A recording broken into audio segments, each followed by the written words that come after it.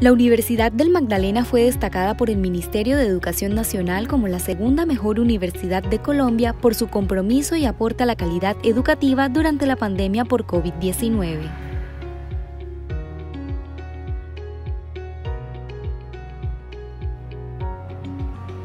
El reconocimiento fue otorgado por la Estrategia Integral de Bienestar para la Permanencia Académica, que fue postulada en la convocatoria de buenas prácticas donde participaron más de 30 iniciativas.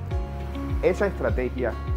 se compone de tres ejes principales. Primero, un eje económico. La universidad dispuso un sinnúmero de ayudas para facilitar los pagos de las matrículas y mantenimiento de becas también y ayudantías a los estudiantes. De igual manera, incluyó un tema de transformación digital y educación virtual, que incluye facilitarle a los estudiantes, por supuesto, sus herramientas tecnológicas como darles computadores y, y SIM card de internet y asimismo ampliar la presencia de la universidad con sedes digitales y con la creación de lo que fue el bloque 10, que ha sido lo que ha guiado la educación en estos tiempos de pandemia de la universidad.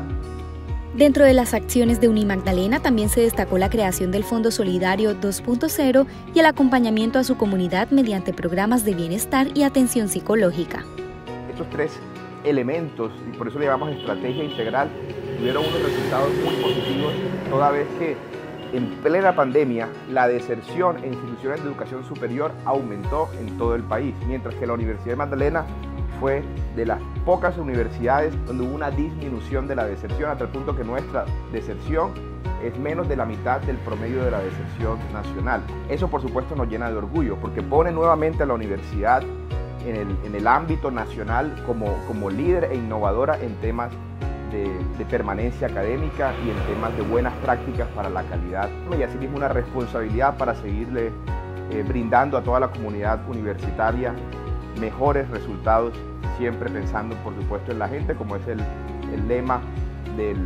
nuestro rector, el doctor Pablo Vera.